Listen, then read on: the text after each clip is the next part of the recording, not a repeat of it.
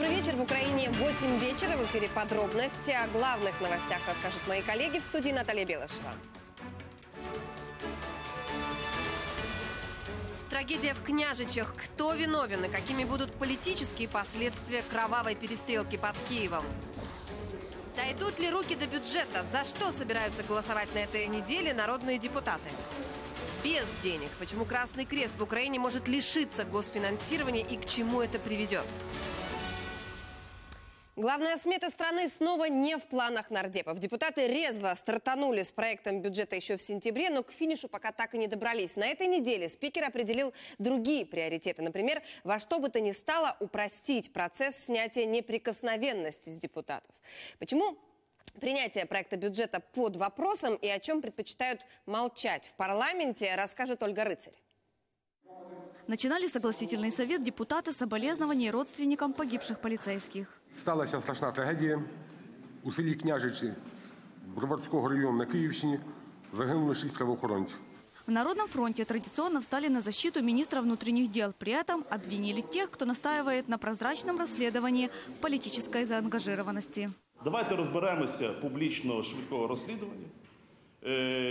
Вадим Троян лише кілька тижнів став керів... ВО керівника національної поліції. Впевнений, він зможе е, владнати ситуацію. Я звернувся до всіх своїх колег по можливості не робити піар на смерть і відверто не політизувати це питання. Больше о трагедии в княжичах ни слова. В то же время в парламенте настоятельно рекомендуют расследовать другое дело – политическое. Нова тема конфлікту, нібито про тотальну корупцію в парламенті. І саме дивне в цій ситуації це те, що звинувачення нам заявляє людина, яку саме звинуватили в корупції. Я маю на увазі пана Оніщенко. Но спикер расставляет свои приоритеты на текущую неделю. Первым делом предлагают упростить процедуры снятия неприкосновенности и ареста нардепов. Аппарат Верховной Рады уже подготовил соответствующий законопроект. І я прошу усіх голів фракцій розглянути ці законопроекти. Дуже часто із-за цієї бюрократичної перепон надто багато часу відходить від подання Генерального прокурора до рішення Верховної Ради України. В оппозиции предостерегают от нарушений регламента. Мол, такие прецеденты в парламенте уже были. В результате решения Верховной Рады оспаривали в судах. Кроме этого, оппозиционеры видят иную подоплеку в спешке со снятием неприкосновенности в обход регламентного комитета, в то время, когда на носу принятие бюджета. Ця ситуація з депутатським Новін- депутатом Новінським нагадує намагання відволікти увагу суспільства від тих економічних і політичних провалів, які сьогодні є в державі. Я вимушений закликати вас не допускати порушення регламенту, які ми бачили останнім часом, Без розгляду регламентного комітету це питання не появиться в залі. Но принятием бюджета на этой неделе и не пахнет. Вторник – вопросы нацбезопасности и обороны. Среда – день местного самоуправления. В четверг голосовать планируют за транспортные и аграрные законы. На этой неделе места для главной сметы страны в повестке дня нет. Впрочем, к содержанию проекта бюджета много вопросов практически у всех фракций. Цей бюджет грабує місцеві бюджети. У них мінус 5, мінус 10 мільйонів в маленьких громадах після цієї централізації. Поддерживают проект бюджета фракции «Народный фронт» и частично блок Петра Порошенко. Предложения всех остальных фракций так и не учли. Це близько 130 мільярдів гривень, а це 5% ВВП на оборону і безпеку держави, куди входить і підтримка армії, підняття заробітної платні армії, е, національній поліції, е, прокуратурі, іншим силовим органам, СБУ і так далі. І так далі. Цей бюджет не має права на життя. Зберігається конфіскація частини пенсій працюючих пенсіонерів низькокваліфікованим працівникам бюджетної сфери в штучному режимі без встановлення мінімальної заробітної плати підтягнуть до 3200 з преміями, доплатами з усім іншим, заберуть податки з цього всього, і люди отримують на руки значно менше ніж 3200, десь в районі 2 з копійками. Голосовать за бюджет страны в таком виде отказываются радикалы и оппозиционеры. Після першого до другого читання уряд не врахував жодну нашу пропозицію. Навпаки, ще більше збільшились виплати на силовий блок. Додаткові кошти в мільярд отримала поліція, 400 мільйонів отримала Генеральна прокуратура, 300 – адміністрація президента, 100 мільйонів додатково отримала Верховна Рада. А ключове питання, яке ставила наша фракція, збільшення пенсій, залишилось невизначеним і, не від, і без відповіді. Без ответов сотни вопросов. Это финансирование погранслужбы, медицины и образования и спецрежим для аграриев, а также зарплаты и пенсии. Все эти пункты так и не согласованы. У нардепа остаются считанные дни, чтобы успеть перекроить бюджет и проголосовать до Нового года. Ольга Рыцарь, Владимир Самченко, Иван Ермаков. Подробности телеканал Интер. И все же главной темой остается кровавая перестрелка, которая произошла вчера утром а, в поселке под Киевом. Слишком много вопросов и нестыковок. Почему правоохранители стреляли друг в друга? Что это? Отсутствие координации между силовиками или что-то другое? Почему местных жителей не устраивает официальная трактовка событий? И что остается за кадром? Руслан Смещук выслушал все версии, а выводы делайте сами. Снег, пропитанный замерзшей кровью, осколки стекла из расстрелянной машины полиции, лента ограждения до десятки одноразовых перчаток, разбросанных по всей улице. Вот так сейчас выглядит место кровавой перестрелки между силовиками. Весь день сюда приходят местные жители посмотреть. В официальную версию произошедшего люди не верят. Мы живем там чуть дальше. Ага. Вот, тоже интересно, думаю, как-то вся эта история, которая рассказывают на по телевидению, она как-то не лепится. То, что говорят, Сомнения, да? не натягивается на голову. Поэтому я решил, думаю, да пройду взгляну, где-то трагедия произошла. Напомню, по официальной версии МВД, рано утром в минувшее воскресенье столичные оперативники при поддержке спецназовцев Корда готовились к задержанию группы вооруженных грабителей. В этот момент в одном из соседних домов сработала сигнализация. На место выехала группа полиции охраны. Наряд ГСО принял оперативников за воров и попытался задержать. За оперов вступился спецназ. Его сотрудники дежурили неподалеку. Тихая сельская улочка превратилась в поле боя. Пользуясь тем, что правоохранители убивают друг друга, бандиты скрылись. Их задержали позже. Поліцейські з поліції охорони прибули на місце і на місці затримали двох осіб, які були оперативними працівниками поліції. І в цей час трапилася перестрілка е, між ними. Наслідок цієї перестрілки п'ятеро загиблих. Чуть позже телеведущий, бывший сотрудник МВД Константин Стагни в своем фейсбуке опубликовал альтернативную версию с уголовно-коррупционным подтекстом. Мол, сотрудники ГСО, прибыв на место, когда сработала сигнализация, задержали полицейских, промышлявших кражами в богатых домах. Те вызвали подкрепление. Спецназ. Закончилось все трагедией. В самих княжичах, где действительно много элитных коттеджей, местные жители действительно обеспокоены разгулом криминала. Были случаи ограбления, да. А много их? Ну, вы знаете, я как-то не особо здесь. Ну, то есть на, слу- на слуху как бы они есть? Да, да, что были слухи, что там какой-то этот ограбили, еще куда-то лезли, но помешали им где-то. Вот там. Ну, в таком плане. Но вот кто живет в доме, где якобы сработала сигнализация и возле которого произошла перестрелка, соседи не знают. По крайней мере, так говорят журналистам. Вы не знаете, кто в 22-м доме жил? А, не, не знаю. Жил? Я даже 22 дома не знаю, если честно. Хотя здесь живем. Вот говорят, что граната еще взрывалась. Нет, нет, нет, нет, неправда. Да, так и стреляли, и все. Также именно Стагни озвучил версию о шестом погибшем полицейском. Якобы тот скончался в больнице. Но пока этот факт не подтверждают ни в МВД, ни в ГПУ, которые расследуют дело. Не подтверждают это и в больнице, куда привезли погибших. Почти ж ніхто не лежав. 30 хвилин і зразу в морг проводили. п'ятьох. Да, да. Шостого не було, шостого не було, їх п'ятеро. Тем не менее, сама перестрелка и версия МВД вызывают множество вопросов. Как и почему силовики не узнали друг друга? Все были в форме. И почему полицейских и службы охраны расстреляли в маркированной машине? По мнению офицера и военного эксперта Олега Жданова, это не был дружественный огонь, обознавшихся в темноте силовиков, а осознанный расстрел в упор одного подразделения полиции другим подразделением полиции. Стрелки видели, кого они убивают, уверяет эксперт. То есть они стреляли сверху вниз, э, понимали, профессионально понимали в том плане, что э, сотрудники милиции в касках и в бронежилетах.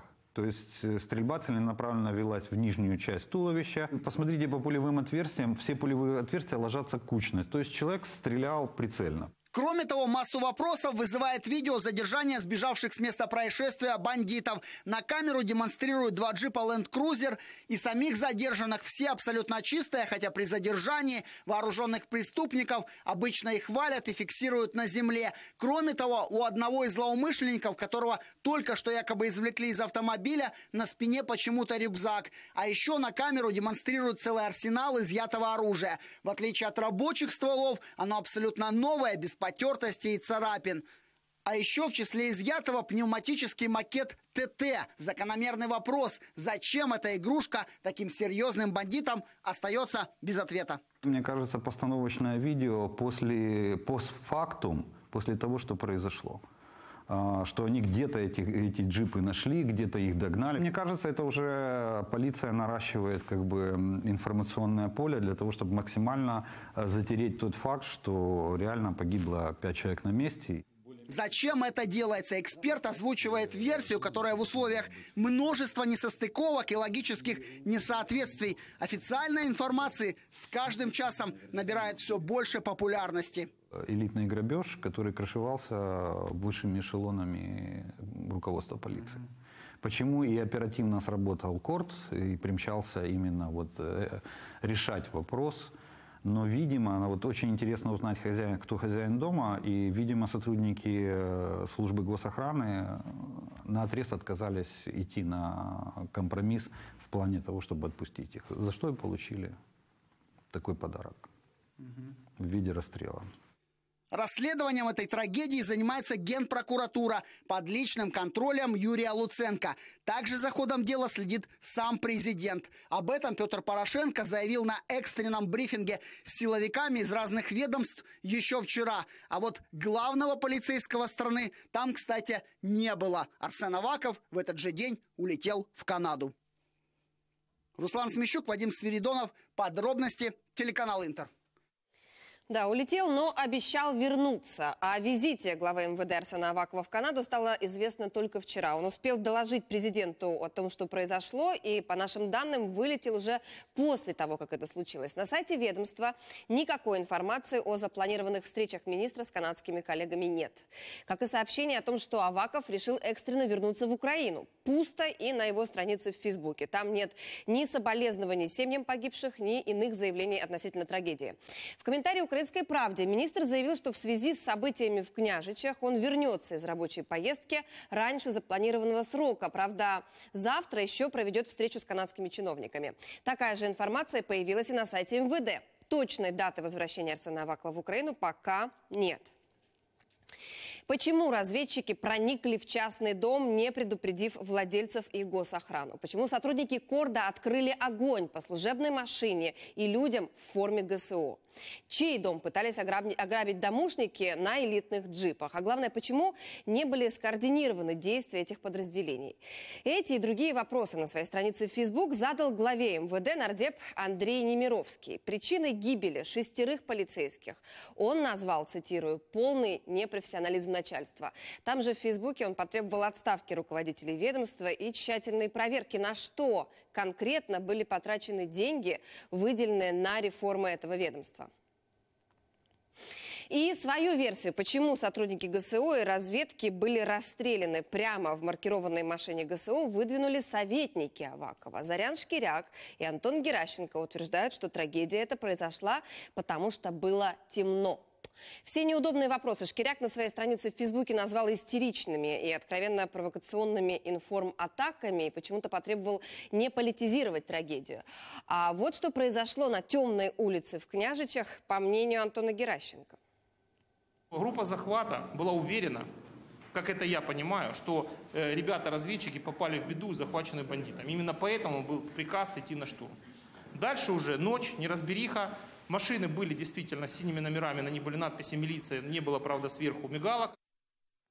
Не ждать возвращения Авакова из Канады предлагает Сергей Каплин. По мнению нардепа, главу МВД нужно немедленно отправить в отставку. Об этом лидер социал-демократической партии написал в Фейсбуке. Каплин сравнил действия Авакова с побегом из страны Януковича, который также самоустранился от исполнения своих обязанностей в 2014 году. В связи с этим в Верховной Раде зарегистрировали рабочую группу, которая займется расследованием вины министра в убийстве пятерых полицейских. Следующим шагом, по словам Каплина, должна стати самоотставка Авакова. Ми, як парламент, зобов'язані внести ще один документ до Верховної Ради України. Проект постанови про звільнення Авакова через самоусунення від обов'язків міністра внутрішніх справ. Обстоятельствами трагедии в Княжичах нардепы займутся в среду. Об этом заявил глава комитета по вопросам законодательного обеспечения правоохранительной деятельности Андрей Кожемякин. Известить депутатов о ходе расследования планирует лично генпрокурор Юрий Луценко и исполняющий обязанности главы нацполиции Вадим Троян. Свою оценку действиям силовиков в селе Княжичи дал сегодня и губернатор Закарпатья Геннадий Маскаль после своего визита в Генеральную прокуратуру. Я рахую, що люди, які докерувалися, керівництво національної поліції має знайти в себе політичну мужність, взяти на себе політичну відповідальність, піти у відставку. Что касается допросов ГПУ, Маскаль дал свидетельские показания по делу о преступлениях против активистов Майдана. По его словам, следователи интересовали в основном события 18, 19 и 20 февраля 2014 года. Я зразу сказав, все, що я знав, я виложив у висновках тимчасової слідчої комісії. Ну, були якісь питання наводящі, там, уточняючі. В якому стані і наскільки вони просунулися, я абсолютно не можу сказати. Я прийшов, щоб не казали, що за мене там не можуть передати в суд, чи за мене е, слідство застопорилося. Напомню, ранее в ГПУ сообщали, что ряд лиц на допросы не являются, и в их числе был также Геннадий Маскаль.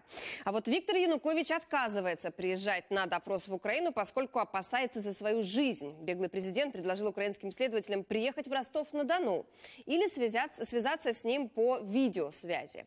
Об этом сообщил его адвокат Виталий Сердюк. ГПУ вызывала Януковича на допрос в качестве подозреваемого 5 и 9 декабря. Напомню, 28 ноября в Святошин Святошинском райсуде Киева. По видеосвязи Януковича допрашивали как свидетеля по делу об убийстве 48 участников Евромайдана. Во время заседания генпрокурор Юрий Луценко объявил ему подозрение в госизмене. Суд над экс-главой партии регионов Александром Ефремовым перенесли на 13 декабря. Ходатайство об отмене содержания под стражей должен был рассмотреть апелляционный суд столицы. Однако на заседание не явились судьи, сославшись на большое количество других дел. За решеткой Ефремов, которого подозревают в финансировании террористов и хищении госимущества, провел уже пять месяцев. Рассмотрение дела, по сути, пока не началось. Жалобу от бывшего нардепа зарегистрировал суд по правам человека в Страсбурге. Об этом сегодня сообщил новый французский адвокат Ефремова Максим Сесье. Я приехал, чтобы выяснить, в каких условиях проходит суд над Александром Ефремовым, интересы которого я представляю в Европейском суде по правам человека. Я увидел много нарушений. Во-первых, Ефремова удерживают незаконно. Условия его ареста не соответствуют криминально-процессуальному кодексу. В частности, он не имеет доступа к естественному освещению, а это нарушает европейские правила содержания задержанных. Какие вопросы будут обсуждать члены фракции БПП на сегодняшнем заседании, в котором примет участие и президент. Мы узнаем у моей коллеги Елены Зориной. Она сейчас находится у Верховной Рады и с нами на прямой связи. Лена, здравствуй. Началось ли заседание? Что тебе известно? Расскажи нам. Да, Наташ, добрый вечер. Ну, что заставило столь холодное позднее время депутатов и президента встретиться? Ну, пока что говорить рано. А, народные избранники начали собираться в здании парламента более двух часов назад, ну, а несколько минут назад к встрече присоединился президент. Хочу сказать, что Петр Порошенко приехал сюда прямо из зоны АТО. Сегодня он пребывал с визитом в Донецкой области. Ну, и вот незадолго до встречи депутаты говорили о том, что ничего необычного в ней нет. Мол, плановое заседание фракции, ну и и президент довольно часто встречается со своей фракцией. Но о чем планируют говорить, э, в частности, о вопросах предстоящей пленарной недели, ну и, конечно же, о бюджете. Кожен понеділок відбувається засідання фракції. Кожен понеділок ми розглядаємо всі ті питання, які е, не за участі президента, але тим не менш президент досить часто зустрічається з фракцією. Е, Якщо говорити про бюджет, то заплановано розгляд бюджету на четвер. Я сподіваюся, що в четвер ми проголосуємо і вже не під новорічну ялинку, як зазвичай останні два роки це відбувається з бюджетом, а увійдемо в бюджетний процес нормально і раніше. Ну, возможно, будут обсуждать и другие вопросы, но какие пока что говорить рано. Заседание в разгаре и проходит оно за закрытыми дверями. Наталья. Спасибо, Лена. Это была Елена Зорина с подробностями а, заседания фракции БПП, которое проходит прямо в эти минуты. Деньги в местных бюджетах есть, а- есть, осталось правильно ими распорядиться. О продолжении финансовой децентрализации премьер Владимир Гройсман говорил сегодня на Международном конгрессе мэров. Реформа уже дала свои плоды, заверил премьер. Доходы городов увеличились. В 2016-м прирост составил 44 миллиарда гривен. Кроме этого, глава правительства призвал мэров не пытаться хитрить с новой системой госзакупок «Прозора». Коли я чую, що в деяких державних закупівлях або в деяких містах починають мудрувати з системою Прозоро, починають змінювати параметри для того, щоб якимось чином відійти від цього, я вважаю, що це є злочин. Час відкатів, хабарів він має залишитись в минулому, тому що це все знищує нашу державу. Во Львове продолжается мусорная эпопея. На этот раз в отходах утопает его центр. Кто помог мусору добраться до исторической части города, узнаем от Галины Якушко.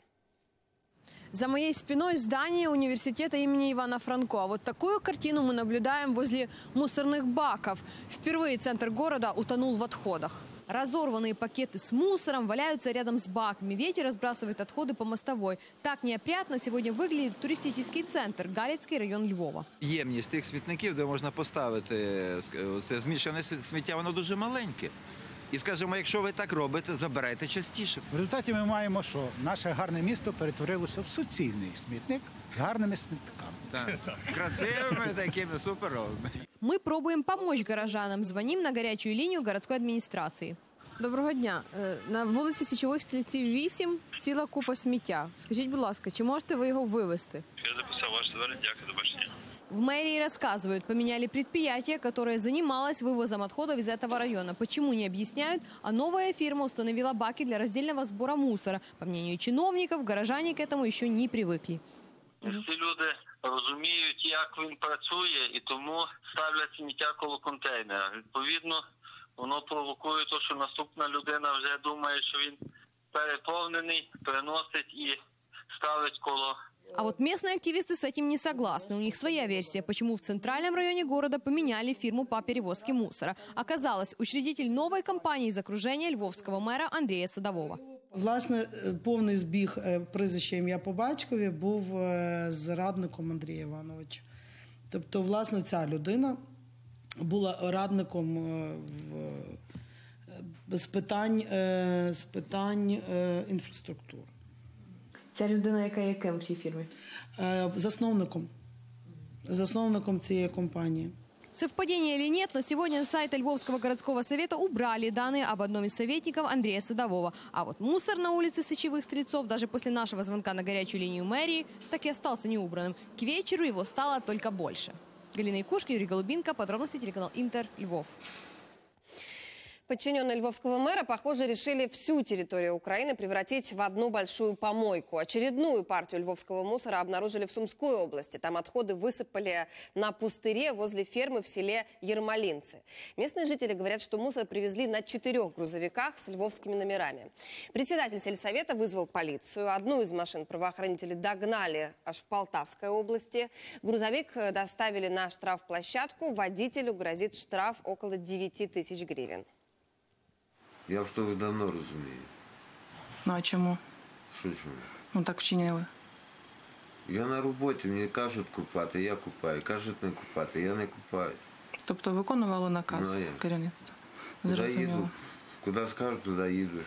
На даний час проводяться інші слідчі дії, які спрямовані на встановлення інших транспортних засобів та осіб, які причетні до скоєння вказаного кримінального правопорушення.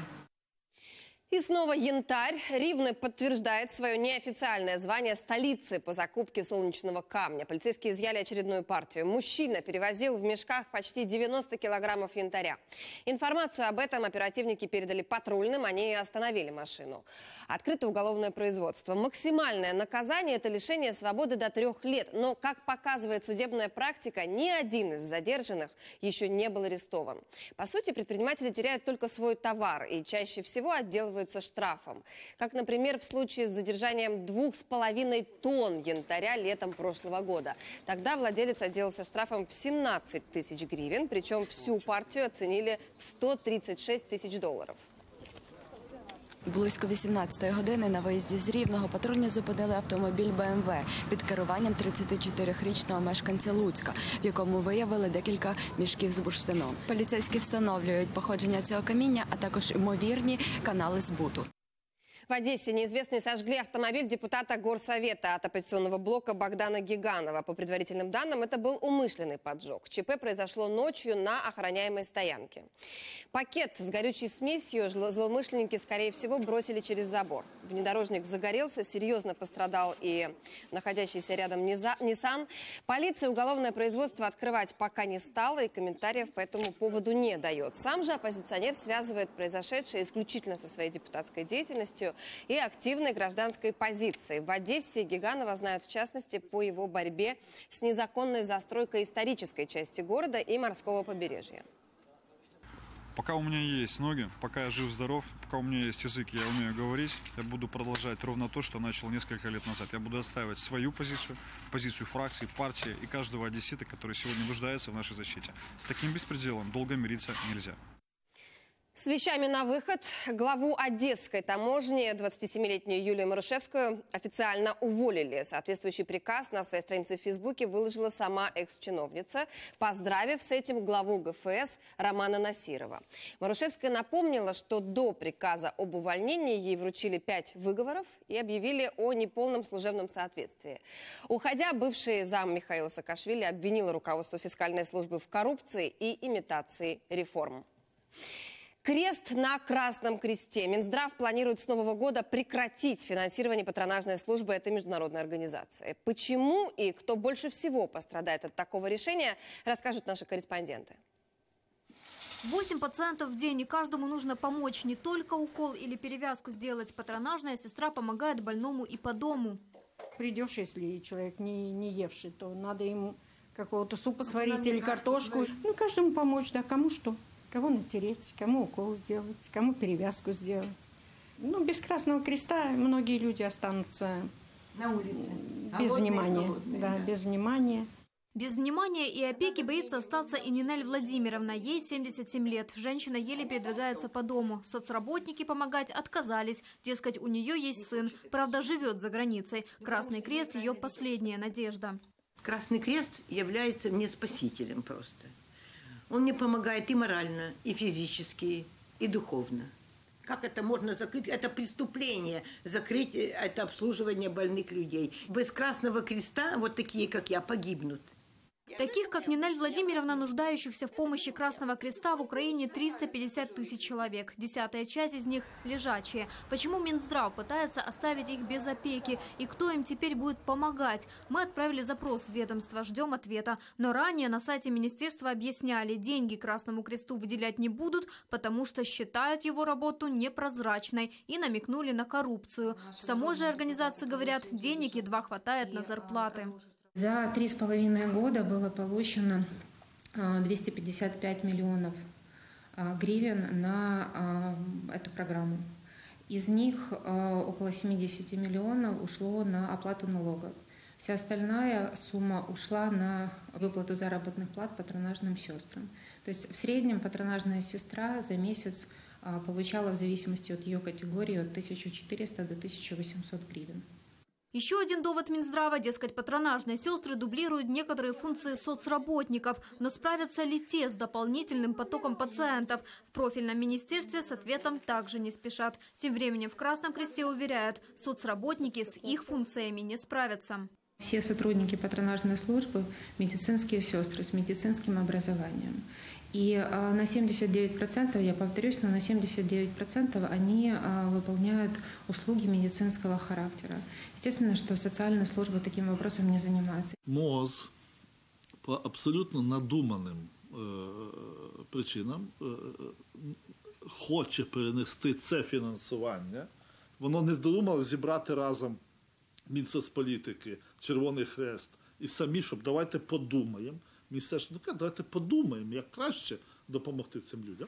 В Красном Кресте все еще надеются, что решение Минздрава будет временным, а пока и за рубежом, и по всей стране ищут возможности альтернативного финансирования. На поиски осталось меньше месяца. Анна Каменева, Иван Матриченко. Подробности телеканал Интер. Грипп наступает, количество заболевших в Украине растет, эпидпорог уже превышен в столице, в Харьковской, Полтавской, Сумской и Черновицкой областях. Больницы переполнены, школьники на вынужденных каникулах, но в Киеве карантин пока не объявили. Все подробности в нашем материале. Детская областная больница Черновцов. В инфекционном отделении аншлаг. Из-за эпидемии гриппа палаты переполнены. Трехлетняя Аня попала сюда прошлой ночью с температурой под 40. І нічого не допомагало. І навіть народні средства пробувала, і натирати дитину, і чай гарячий, ну як чай гарячий, тепленький з малинки, нічого не допомагало. І дуже страшно стало, бо вона аж червона вся стала на лиці. Сейчас девочка чувствует себя лучше, но лечиться придется не меньше трех недель, говорят врачи. Чаще всего опасный вирус атакует малышей. До нас більше звертаються діти маленького маленькі, до більше дітей до року, і навіть шкільного і старшого віку також діти до нас звертаються. Маємо два випадку випадки грипу, якого які маємо вірусологічне підтвердження. Грип H3N2. Из-за вируса в школах продлили карантин. До среды они закрыты. Не ходят на занятия и дети в некоторых районах области, там, где заболевших больше 20%. Страдают и взрослые. У 17 человек обнаружен так называемый свиной грипп H3N2. Є хворі, у яких визначений грип з е, діагнозом ГРВІ, е, аденовірусна інфекція, але це свідчить про те, що вірус активно циркулює серед населення. На карантин ушли и школьники в Днепре, пока не массово. Жаловаться на слабость многие начали еще на прошлой неделе. В одной из гимназий эпидпорог был превышен буквально за несколько дней. Пришлось отменить занятия, говорит директор. На жаль, епідпоріг перевищили іще в 10 класах, то з завтрашнього дня закриємо ще 10 класів. І навчатися буде тільки 7 класів. Пока вынужденные каникулы объявляют не больше, чем на неделю. Если ситуация не улучшится, их продлят. Закриті класи у зв'язку з захворюванням дітей на гострі респіраторні вірусні інфекції, і це зробиться для того, щоб ця інфекція не розповсюджувалася серед школярів міста. Наиболее сложная ситуация в Сумах. Из 9 тысяч заболевших больше половины дети. У многих осложнения в виде пневмонии. На жаль, у цьому році реєструється швидке за день-два ураження легеневої тканини, ураження бронхів, ураження інших органів, що і призводить до більш фатальних наслідків. Всего в Сумской области 8 тысяч заболевших гриппом и ОРВИ. Есть даже смертельные случаи. От так называемого гриппа Гонконг умерли 52-летний мужчина и 13-летний школьник. Ольга Теребинская, Ольга Поломарюк, Елена Миндалюк. Подробности телеканал Интер. Вы смотрите подробности, и вот что у нас во второй части. Верните авто. Почему волонтерские машины из зоны АТО могут попасть на штрафплощадку? Алеппо в огне. Попадет ли стратегический сирийский город под контроль Асада? Борьба за влияние. Кто в Британии будет решать вопрос о выходе из Европейского Союза? Военная служба правопорядка будет изымать волонтерские авто из зоны АТО. Об этом на своей странице в Facebook сообщил волонтер Сергей Листопад. По его словам, распоряжение это издал начальник службы Игорь Криштун. Волонтер убежден, что если все машины отправятся на стоянки, часть из них со временем может просто исчезнуть. Он подчеркнул, что транспорт, ввезенный в зону АТО его коллегами, должен попасть под таможенную амнистию. Авто нужны военным, а не на штрафплощадках и разборках, написал Листопад. Мы отправим направили запрос в Минобороны. Принималось ли подобное решение? Если да, то что будут делать с автомобилями в будущем? Теперь ждем ответ. Украинские телеканалы возвращаются на Донбасс. Сигнал вещания восстановлен в северной части этого региона. Сегодня возобновила свою работу телевышка на реке, э, горе Карачун возле Славянска. Сколько телеканалов и радиостанций стали доступны и в каких городах оккупированной части региона, расскажет Ирина Баглай. Открытие новой телевышки на Карачуне несколько раз переносилось. Мешали погодные условия и человеческий фактор. Це людський фактор, і коли люди тобі звітують про те, що от зараз, там через тиждень-два, вона буде побудована, ти говориш це пресі, а потім виявляється, що це не так. Це прикро, це не може подобатись. А через це були певні кадрові наслідки. А через це певні люди були покарані. Гора Карачун и телевышка стали знаковым местом в истории войны на Донбассе. Летом 2014 года, во время ожесточенных боев, когда высоту держали украинские военные, вышку разрушили боевики. Отстроить ее с нуля смогли благодаря в том числе умельцам, которые соорудили специальный кран. Сэкономили за счет конструкций, уже неиспользуемых телевышек Кировограда и Тернополя. Ми покриємо е, до Торецька І частково Горлівку покриємо. Напрямку Донецька, на жаль, е, не зовсім тут вдало, і е, в сторону Донецька не буде, бо це через Горлівку, а поки що навіть не всю Горлівку покриємо цим сигналом. Перший, другий зал, обладнання передавальне вімкнути. Чотири місцевих телеканали і 10 загальнонаціональних телеканалів розпочали свою роботу. Я ставлю завдання, щоб мені доповісти протягом тижня дорожню карту, коли ми відновимо покриття, щоб мешканці Донецька, Макіїв, Єнакієва, Шахтарська мали можливість дивитися українські канали. Е, Щоб ми затвердили графік і найближчим часом було розпочати роботи по встановленню передавачів для е, забезпечення українського мовлення. Для телепокрытия оккупированных территорий планируется построить телевышку в Покровске. А после установки мощных передатчиков в Херсонской области украинские каналы смогут смотреть и в оккупированном Крыму.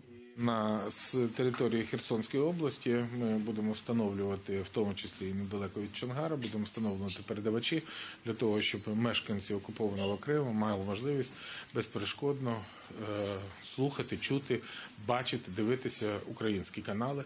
Е, наголошуємо, що це відбувається в повній відповідності до українського і міжнародного законодавства, і ніхто не має права перешкоджати нам е, робити мовлення на своїй українській землі. Помимо телеканалов, Вышка будет транслировать военное радио «Армия ФМ». Качество сигнала в прямом эфире протестировал Петр Порошенко, пообщавшись с украинскими военными по всей линии фронта. Ирина Баглай, Андрей Костюк, Игорь Щепет. Из Донецкой области. Подробности. Телеканал «Интер». Украинский вопрос поднимут Джон Керри и Франк Вальтер Штайнмайер. Госсекретарь США прибыл в Берлин на встречу с министром иностранных дел Германии. В ходе переговоров обсудят также предстоящие встречи на уровне НАТО и ОБСЕ, а также ситуацию на востоке Украины и в Сирии. Уже завтра Джон Керри в рамках европейского турне примет участие во встрече министров иностранных дел стран НАТО. Лефортовский суд Москвы на три месяца продлил арест украинцам Андрею Захтею и Евгению Панову. Их обвиняют в подготовке терактов в Крыму.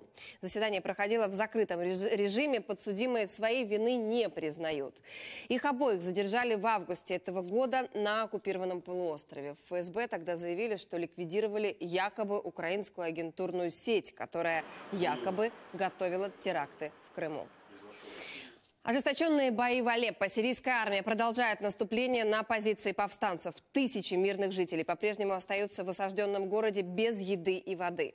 Последние подробности этой битвы у нашего корреспондента Сергея Услендера.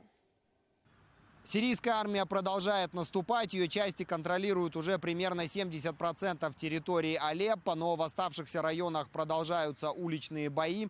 Наступление началось три недели назад. Сирийская армия при поддержке российских самолетов атаковала позиции повстанцев. Последние несколько раз переходили в контратаки. Город стал ареной ожесточенного сражения. За это его уже называют сирийским Сталинградом. Большинство строений там разрушено, разбомблены все больницы, практически отсутствует отсутствует медицинская помощь, не хватает воды и продовольствия. С гуманитарной точки зрения ситуация просто катастрофическая. В районах, где сейчас идут бои, по-прежнему находятся тысячи гражданских, которые из-за непрекращающихся бомбежек и обстрелов не могут оттуда выбраться. В осаде остаются около 200 тысяч человек, и мы не можем добраться до них. Последний раз доставка продовольствия была 15 ноября. Людям приходится располагать только тем, что сумели добыть. Цены взлетели до небес. Сейчас там реальная нехватка продовольствия. Среди прочих сотрудники гуманитарных миссий разыскивают семилетнюю Бану Алабет. Это сирийская девочка, которая жила в Алеппо и на протяжении всей осады вела дневник в Твиттере. Ее записи стали всемирно известными. Последняя гласит, видимо, армия вот-вот захватит этот район, так что скоро увидимся пока и больше постов не было. Э, кроме того, стало известно, что под бомбежкой погиб Аннас Альбаша, больше известный как клоун из Алеппо. Он был э, руководителем гуманитарной организации, он сам жил в Алеппо и в костюме клоуна помогал детям переживать ужасы войны. Точное число погибших гражданских неизвестно, но по данным Сирийского центра по правам человека речь идет, по всей видимости, о тысячах убитых. Упорство, с которым сирийская армия продолжает штурмовать город, говорит о его стратегической важности. Это действительно так. Алеппо расположен таким образом, что тот, кто контролирует этот город, контролирует весь северо-запад Сирии. Сергей Услендер, подробности, Ближневосточное бюро, телеканала Интер. Еще один а, российский истребитель упал в Средиземное море. Су-33 не смог приземлиться на авианосец «Адмирал Кузнецов». Пилот выжил, ему удалось катапультироваться. Уже в море его подобрал спасательный вертолет. В Министерстве обороны России подтвердили, что борт возвращался с боевого задания в небе над Сирией. Во время посадки у истребителя оборвался трос, и он буквально скатился с палубы авианосца. Это уже второе ЧП на адмирале Кузнецове. Напомню, 14 ноября МиГ-29 попал в аварию при заходе на посадку за несколько километров до авианосца. Трагедия в российском Ханты-Мансийске. Пассажирский автобус, перевозивший детей, столкнулся с грузовиком. Удалось ли кому-то выжить и кто виновен в этом ДТП? Подробнее в материале. В реанимации Ханты-Мансийской окружной больницы остаются 19 человек. Их состояние медики оценивают как крайне тяжелое. Сегодня целый день в лечебное учреждение приходят местные жители. Они сдают кровь для выживших в страшном ДТП. В город прибыли дополнительные бригады медиков из Москвы. Работает набор мультидисциплинарных бригад, травматологи, нейрохирурги, хирурги, детские хирурги, гемотрансфузиологи, анестезиологи, реаниматологи. Это первые кадры с места происшествия груда искореженного металлолома – все, что осталось от автобуса. В результате столкновения с грузовиком погибли 12 человек, 10 из которых – дети. Практически автобус разорвало на две части. На месте создан штаб по ликвидации последствий. А, из э, Центра Спаса, МЧС, э, органа внутренних дел, Следственного комитета, прокуратуры. Сразу после аварии следователи задержали водителя автобуса и грузовика, но немногочисленные свидетели ДТП настаивают. Автобус двигался по своей полосе, не превышая скорость. После трагедии выяснилось, поездка несовершеннолетних пассажиров не была официально санкционирована. И сопровождение экипажем ГИБДД, как это у нас всегда организовывается, по данному маршруту также не осуществлялось. В больницах Ханты-Мансийска тем временем продолжают оперировать пострадавших. Врачи сообщают, состояние некоторых маленьких пациентов улучшилось. Их отключили от аппаратов искусственной вентиляции легких. Анна Ильиных, подробности, телеканал Интер. Процесс века Верховный суд Лондона приступил к рассмотрению апелляции по Брекзиту. Британское правительство настаивает, что имеет полное право самостоятельно решать, как и когда запускать процесс выхода страны из Евросоюза. Но суд может решить иначе. В чьих руках может оказаться судьба королевства? Подробнее узнаем от Светланы Чернецкой. Она в Лондоне. Брекзит на паузе. Еще месяц назад Высокий суд Лондона постановил, что правительство не имеет права начинать процедуру выхода страны из Евросоюза без одобрения парламента. Такого развития событий премьер допустить не может, ведь большинство депутатов, как консерваторы, так и лейбористы и либеральные демократы, против Брекзита и могут попросту блокировать такое решение. Поэтому борьба перенеслась сюда, в суд последней инстанции, Верховный суд Великобритании. И, по сути, судьба страны оказалась в руках 11 человек. Это служители Фемиды, назначенные на должность Ее Величеством. Система британского правосудия славится во всем мире. Сюда приезжает искать справедливости из многих стран. Но когда дело дошло до одного из самых важных решений в истории Великобритании, журналисты усомнились в профессиональности людей, принимающих такое решение.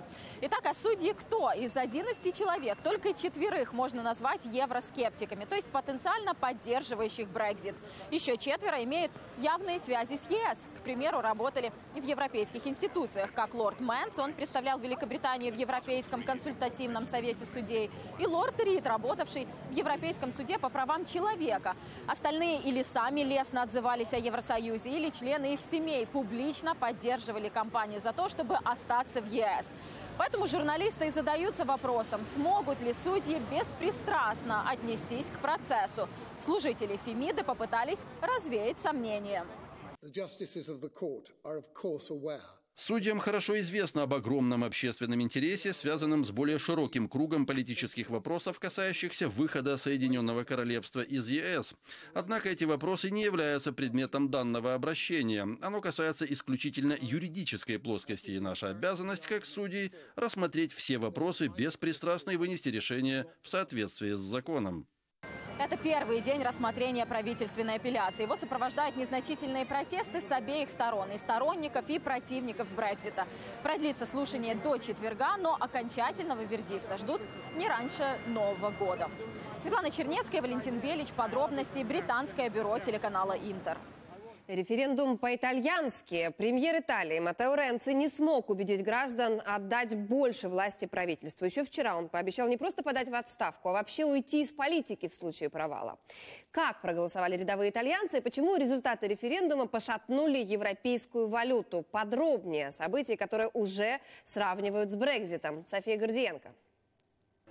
Все или ничего – это была амбициозная идея энергичного премьера. Ренци уже два года пытался провести масштабные реформы, но Сенат противился. Тогда глава правительства пошел в банк предложил путем референдума убрать Сенат с пути и отдать больше власти правительству, изменив в Конституции почти треть статей. Огромная явка и почти 60% высказались против. В лагере противников ликование. Мы благодарим Ренци за все его достижения, за закон, который уничтожил итальянскую образовательную систему, поставивший в зависимость учителей и студентов, за реформу труда, которая лишила рабочих прав тех прав, которых они добивались десятилетиями. Тех, кто был против расширения полномочий Ренци, возглавляли представители объединения «Пять звезд» и ультраправой партии «Лига Севера». Они уже заявили, что готовы сформировать новое правительство. Евроскептики в соседних странах ликуют. Марин Ле Пен уже поздравила итальянских националистов. В Брюсселе же разочарованы. Я не назвал бы это итальянским кризисом, я бы скорее сказал, что это шок. Премьер-министр Ренци решил уйти. Это человек, который провел очень много различных реформ, экономических и политических. И мы надеемся, что это будет продолжаться, потому что Италия сильная страна. Решение итальянского народа Ренци принял весьма достойно. Здравствуйте всем. Извините за опоздание. Сегодня итальянцы высказались. Высказались четко и ясно. И понятно, что это большой праздник демократии. Я проиграл. Сегодня Матео Ренци полдня провел с президентом Мотореллой, который, по идее, должен принять отставку своего премьера, а затем создать новую коалицию и решить, кто станет преемником. До выборов 2018-го официально большинство за демократами. Первый в очереди на кресло главы правительства – нынешний министр финансов Пьер Карло Падуан. София Гордиенко, Европейское бюро телеканала «Интер». Первое американское предупреждение. Избранный президент Дональд Трамп обратился к бизнесменам Соединенных Штатов. Чего потребовал и чем может обернуться для бизнеса отказ? Дмитрий Анопченко знает все подробности. Не стоит закрывать заводы в Штатах и переносить бизнес за границу. Дональд Трамп часто повторял эти слова в ходе избирательной кампании. Но теперь тот же самый месседж, обращенный к бизнесменам, звучит абсолютно по-другому. Ведь это слова не кандидата, а президента. И теперь это серьезное предупреждение. Месседжи в Твиттере обычно 2-3 фразы. Таков формат. Но текст Трампа занял сразу 6 сообщений – они адресованы крупнейшим бизнесменам страны. Мол, если вы собираетесь увольнять рабочих, строить фабрики и заводы в других странах и убеждены, что это обойдется без последствий расплаты, то это неверно. Новый президент предупредил, в первые же дни пребывания на посту введет 35-процентную пошлину для тех американских компаний, кто производит свои товары за пределами Америки, а затем возит их обратно в страну, чтобы продавать. В последнее время здесь очень редко можно найти в магазинах что-то, где была бы знаменитая надпись «Made in USA», сделана в Соединенных Штатах. Ну вот, э, даже у меня. Айфоны изготавливают в Китае и на Тайване. Э, знаменитые американские конверсы шьют теперь в Индонезии и Индии. Один из символов Америки – джинсы Levi's – на самом деле изготавливают в Латинской Америке и Азии. И даже Ford лишь несколько дней назад уступил личному требованию Трампа и отказался от переноса своего завода в Мексику. У большого бизнеса это была распространенная уловка. Совсем как в рекламе. Зачем платить больше? Предприятия в самих штатах сворачивались, взамен фабрики открывали там, где у рабочих зарплаты куда ниже, чем пришлось бы платить американцам. Это давало огромную прибыль. Но пошлина Трампа, о которой он сообщил накануне, не просто сведет ее на нет, а наоборот, способна будет разорить. И все крупные компании страны проводят сегодня мозговые штурмы. Что делать дальше? И как возвращать производство в США, чтобы не попасть под санкции нового президента. Из Соединенных Штатов Дмитрий Анопченко, Юрий Романюк, Американское бюро телеканала «Интер». А фальшивое диппредставительство США обнаружили в Гане. Как выяснилось, почти 10 лет в столице государства Акре американские визы выдавало фейковое посольство Соединенных Штатов. Причем документы были и поддельные, и настоящие. Во время обыска у горе-дипломатов полиция обнаружила также 150 паспортов из 10 стран мира и поддельные визы. Организовали работу фальшивого посольства криминальные группировки из Турции и Ганы. Нескольких преступников уже удалось задержать, остальные сейчас находятся находятся в бегах. На этом у меня все. Побольше вам хороших новостей до встречи завтра.